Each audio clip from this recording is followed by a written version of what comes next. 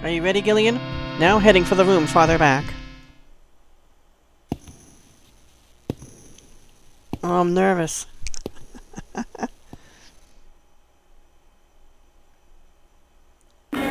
oh boy. The Snatcher's culturing room. Are these regular people? I see boobs. Regular boobs and man boobs. Alright, so is this where they grow the skin then? Because it looks like the skin is shaped over actual skeletons? Or were some people snatched, not killed, and brought here? The mechanism is operating. Gillian, there are snatchers with their artificial skin already installed here. Okay, so these have snatchers and skin. Not people. These units are nearly ready to perform a complete snatch.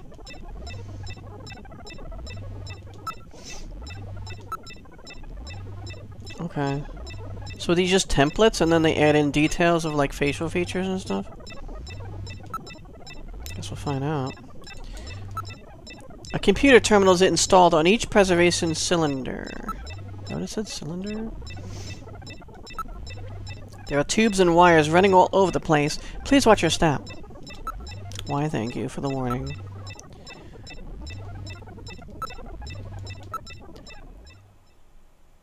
This is where they fuse the artificial skin onto the Snatcher's endostructure.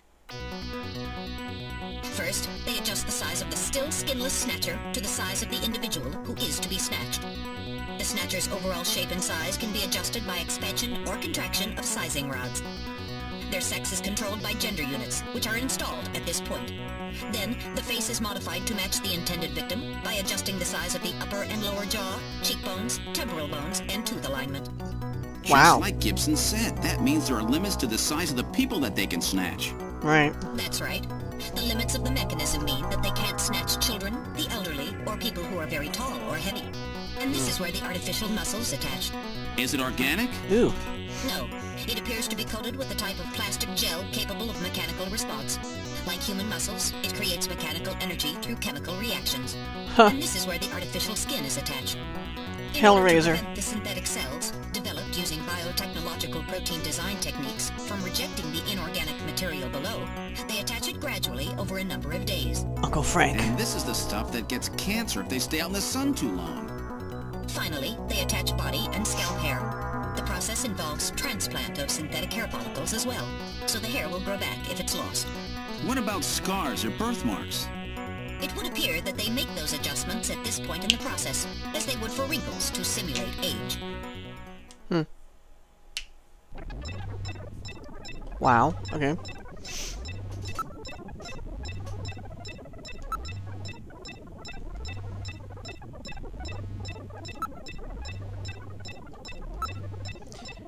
These terminals must all be connected to a host computer which monitors conditions inside each of the cylinders. The monitors are all displaying various data and charts.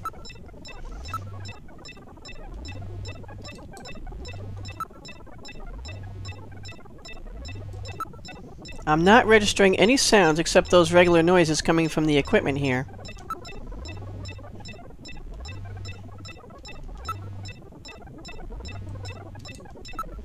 The whole area is protected as a clean room. There's a door at the far end of the room. This is very sophisticated equipment. I'm surprised at the advanced level of the facility they have constructed. I wonder where they're getting their funding from. They're probably supplying their financial backers with snatchers as well. Jeez.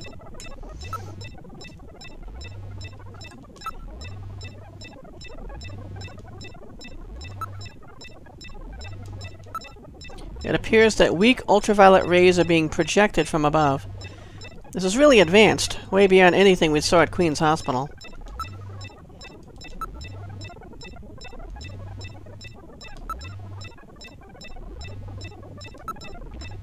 These cylinders are, are used to culture the Snatcher's artificial skin. Endostructures are submerged within them. They are constructed with a special reinforced glass. It would require quite a bit of effort to break. I wasn't planning on breaking them.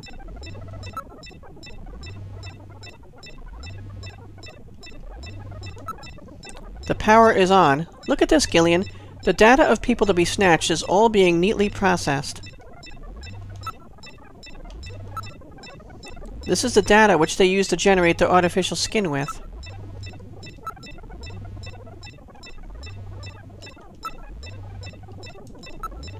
It's a small metal door with a doorknob attached. There must be another room beyond here. Must be.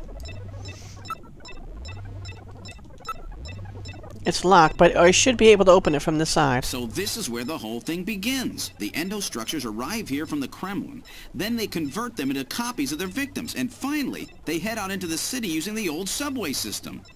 With artificial skin maintenance being handled at Queen's Hospital. But who's behind all this? Gillian, look at this. There are some finished snatchers over here. Oh boy. Get a load of this. The U.S. President, the Prime Ministers of Japan, and the U.K. What?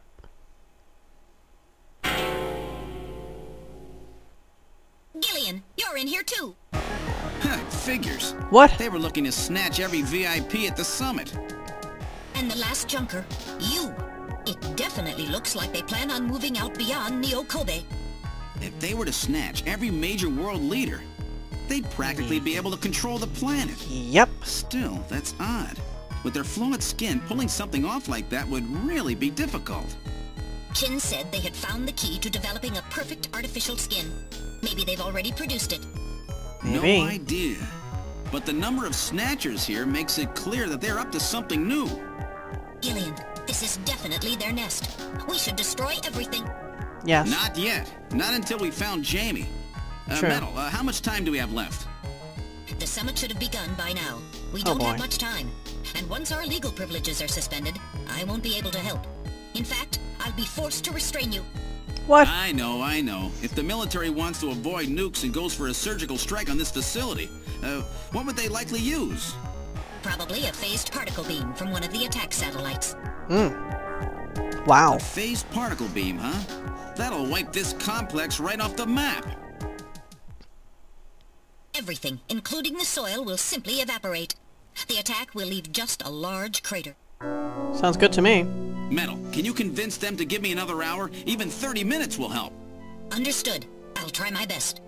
And I'll try to find and rescue Jamie in that time. Splitting up? Can't transmit here due to interference from the Snow 9. I'll Ah. have to leave the area and then send the message. No, splitting up. All right, do it, Metal. Gillian, don't forget. 30 minutes. You must get out before then. I understand. Gillian, I'm sorry I couldn't help you better. Don't worry about it. I'll be able to move faster by myself anyway. 30 minutes should be plenty. Go, Metal! Yes, sir. Don't forget. 30 minutes. Are we on a timer? For the rest of the episode? Game, or whatever? 30 minutes? Oh, this is gonna be tight. That room's the only place left to check. Let's take a look.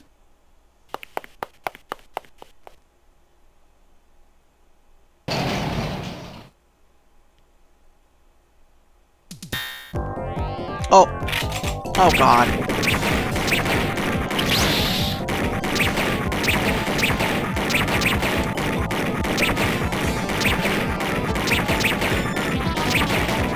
God, they're all over!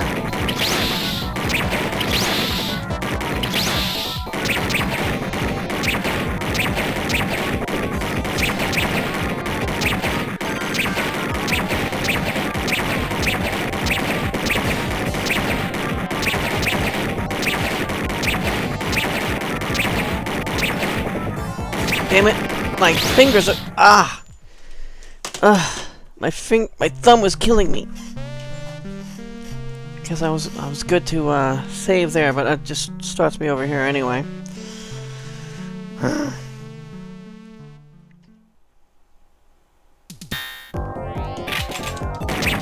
my god, right off the bat.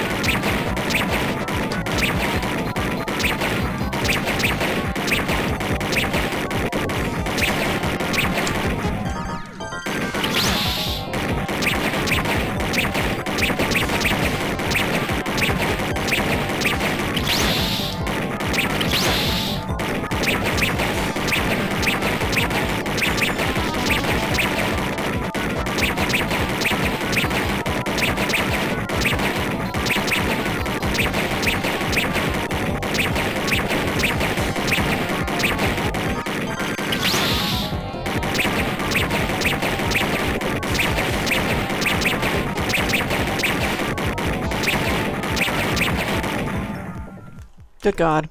Whew. I wasn't ready for that. They almost got me.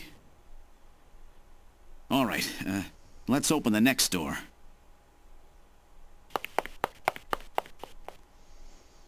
Hmm. Doesn't look like there's anything here. Whoa! Oh god. Jeez.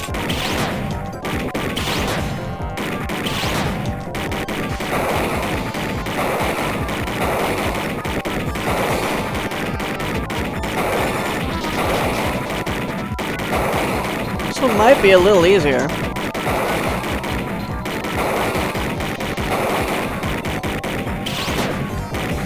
A little bit.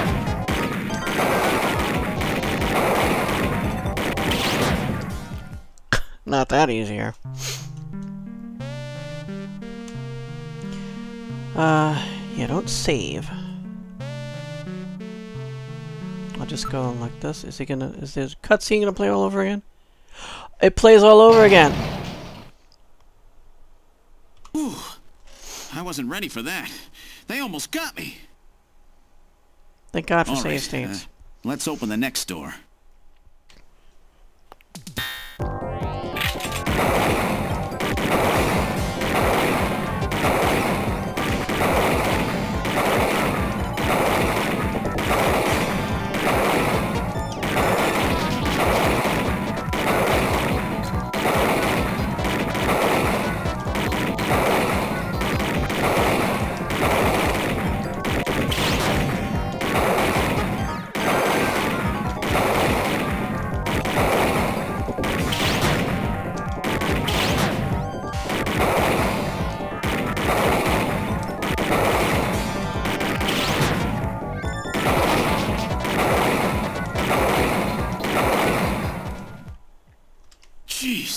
Jeez. Save These guys are tough. Of course, I didn't exactly expect them to welcome me with open arms. True. Okay, uh, let's try this next door. Oh God.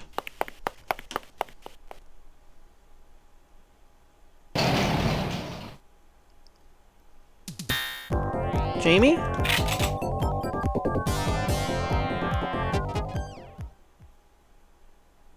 Yeah, don't shoot her. Jamie, are you all right?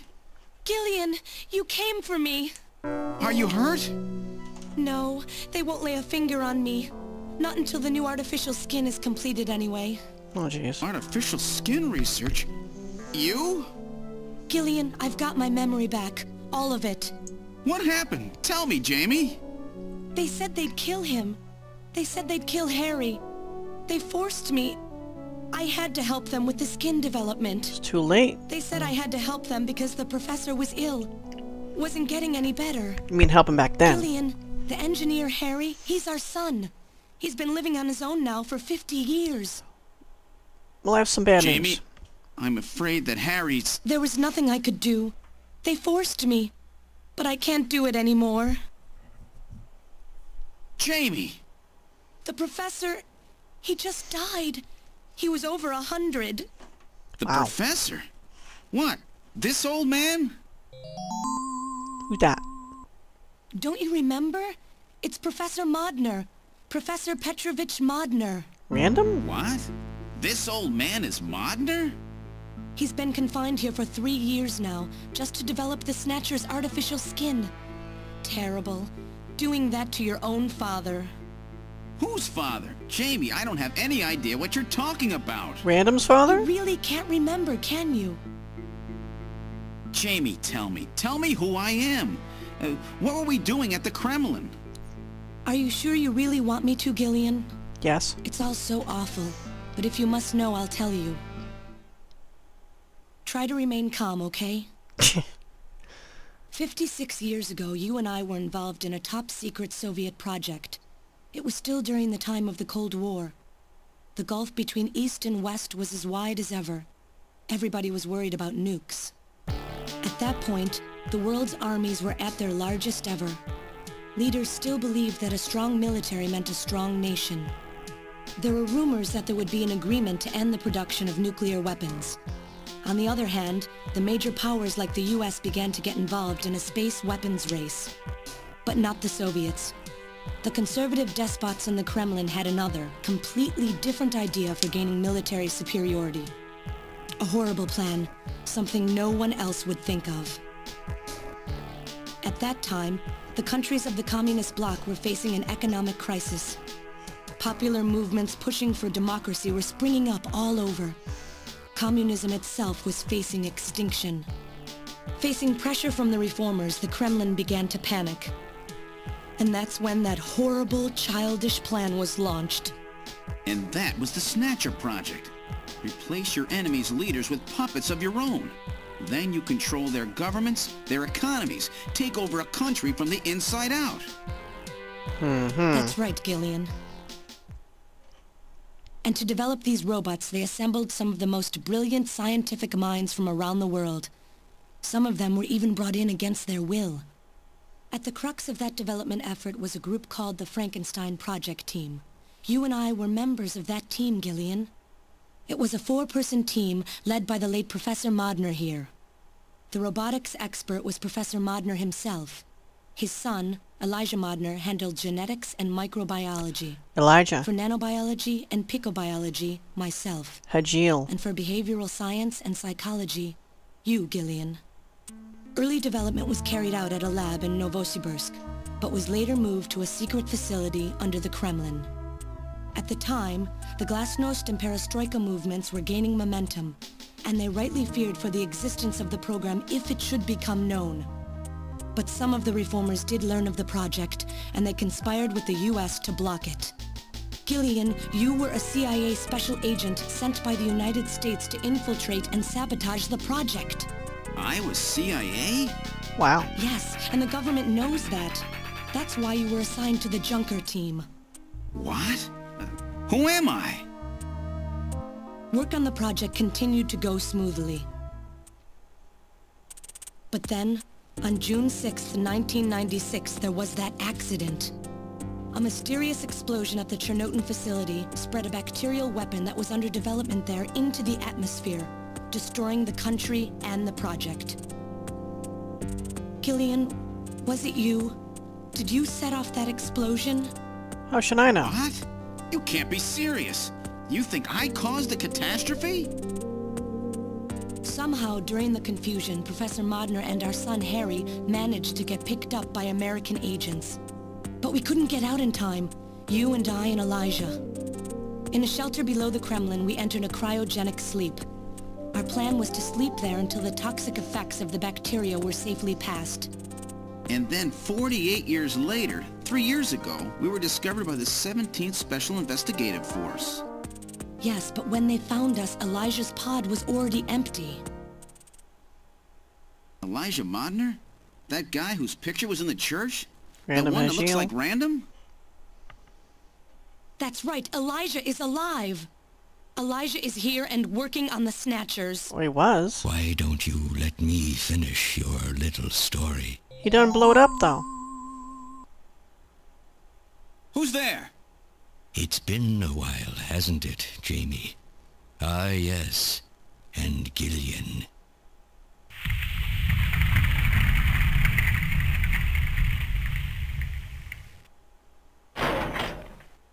It's me, Jamie. Elijah? Is that really you? Random? No. Not quite. So you remember me, do you? I am Elijah Modnar, the Sort only of. son of Professor Petrovich Modnar. I'm afraid I've grown somewhat old and feeble since we last met, however. We just saw a random. Why are you doing this? Your father, Professor Modnar, he just... He passed away a few minutes ago.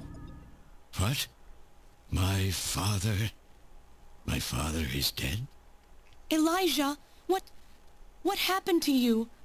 The Elijah I knew could never do anything like this. I've changed, Jamie. These 40 years have changed me. I can't believe it. What happened to you? What happened to me? Jamie, do I actually have to explain it to you? Sure. Jamie, it's you. Your beauty is the cause of all that has come to pass here. What? Fifty-seven years ago, I was obsessed. With my research, yes. And with you, Jamie. At the time, I was still young, having just graduated with my genetic engineering degree. My father's connections got me on the team, and there, I met you. You were working as my father's assistant. Your beauty, your smile, I was stricken. I saw something in you that I never felt with women of my own country. You warmed my cold, young heart, Jamie. You opened me up, and I couldn't stop my feelings. Elijah, Oh, I was so happy. The political situation was crumbling around us, but every day was a joy. I gained my father's trust, and with you there watching over me, I was able to work as hard as I ever have on the project. However, my happiness did not last for long. Gillian, it was you. You showed up and all was ruined. You arrived and joined our project team. Far from home, Jamie found comfort in a man from the same land. Your relationship grew quickly, and all I could do was stand by and watch. Jamie and Gillian fell in love, were joined, and even had a child. Harry, Even then, my feelings for you only grew stronger.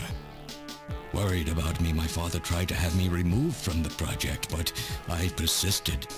Jamie, I always wanted to be near you. And then, the democratic movements that had consumed the rest of the Eastern Bloc spread to our country as well. The Cold War was over. The hardliners who had pushed for its development were stripped of power and the project was cancelled.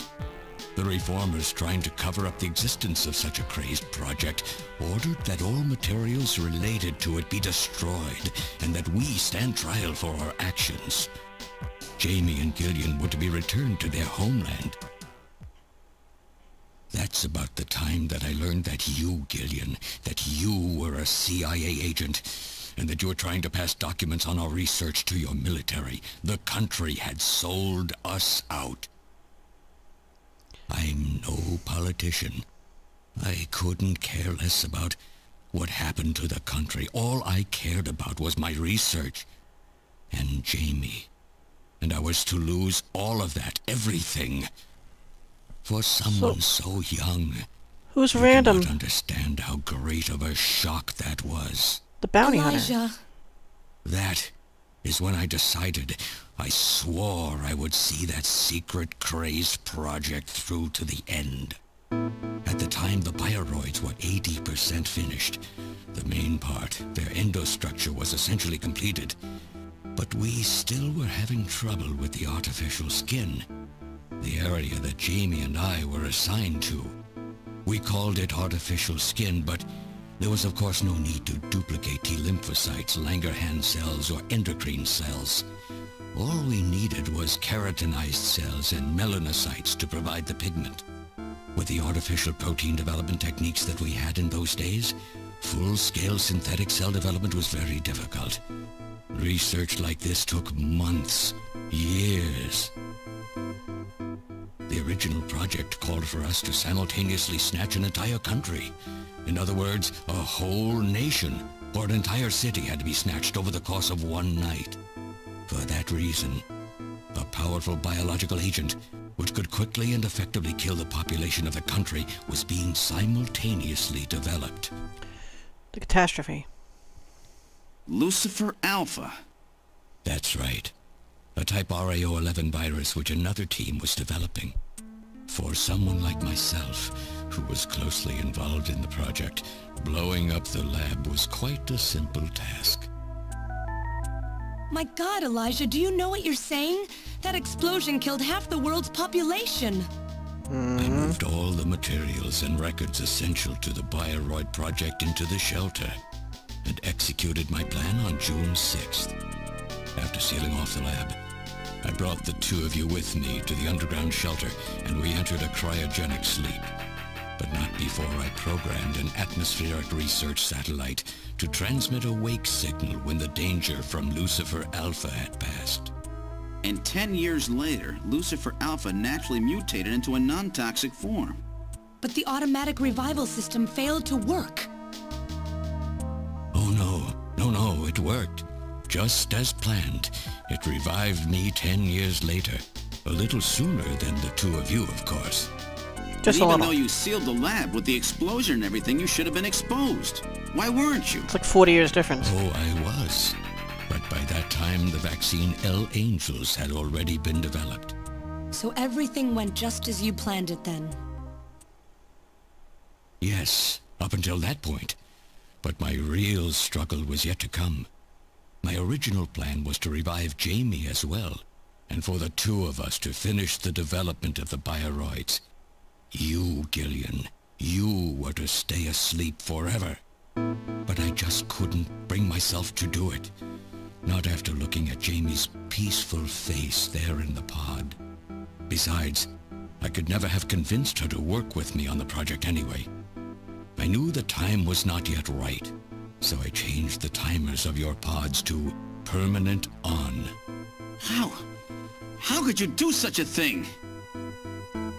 And so for the next 40 years, I worked alone in that cold and lonely room under the Kremlin, That's a trying to complete the artificial skin for the Snatchers. For days and days, no one would visit me. I never saw the sun or felt the changing of the seasons. Still, I always had Jamie by my side. You were always there for me to talk to. Just you and I for 40 years in that dark cellar. Oh, you poor, poor man. Creepy. Creepy man. And then, three years ago, my research was finally completed. First, I snatched the Siberian Special Investigative Forces to establish a transport route for the Snatchers. And then, to test the effect of large-scale snatch operations, I chose Neokobe City to be my experimental sample. Neokobe is cut off from the surrounding areas, a sort of miniature country in itself, making it a perfect test site. And since it's a melting pot of various races, it would also allow me to gather extensive data on snatcher modification and operational techniques. In addition, the element of suspicion or mistrust, which runs deep in Japanese culture, was another reason I chose this site. But your test revealed a critical flaw in your machine's artificial skin. Yes, quite unexpected, I'm afraid. All my research for 40 years. I gathered data and worked day and night to find a solution, but nothing seemed to work. So that's why you decided to bring Professor Modnar here, right? That's correct. I discovered my father in one of the government's hospitals. He was old, but still very sound of mind. Naturally, he would not cooperate with me. Of course not. He'd never become involved in something like that. So, unable to receive his assistance, I decided that I had to have yours. But a mistake on my part allowed both you and Gillian to be taken into custody by the authorities first. Just what are you trying to accomplish, Elijah? You must know you can never get Jamie back. I'm only interested in discovering what I can of the human animal.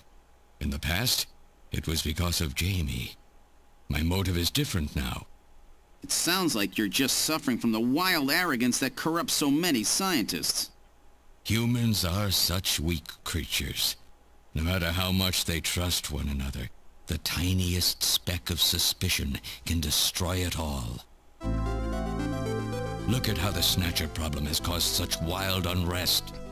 No matter how much science advances or how high we set our ideals, we eventually begin to suspect each other, to hate each other, and then to kill each other. The Snatchers are nothing more than a tool for bringing out this reaction. I am simply using the Snatchers to elicit the true nature of the human animal. Just to see what I think happens. this experiment has shown me the limits of human society. I sincerely doubt it will be able to reach any greater level of prosperity on its own. If human society ever hopes to reach greater heights, what is needed is an absolute leader, a firm ruler who isn't affected by these trivial episodes of mistrust. You're crazy if you think people would ever obey snatchers. Of course they wouldn't. But if they don't know, they cannot object. There has been a time in every age that the people have longed for a god to lead them. As long as they give the people no reason to suspect them, then they can easily become their gods. Indeed, a new race of super beings. We are almost there. Once we perfect the artificial skin, Snatchers will transcend man to become this planet's true human beings. But you'll never get your perfect skin now. Professor Modnar is dead.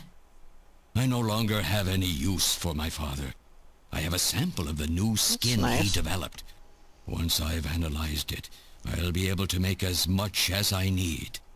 Or if need be, we could simply culture the keratinized cells, epithelial cells, and melanocytes in the quantities that we need.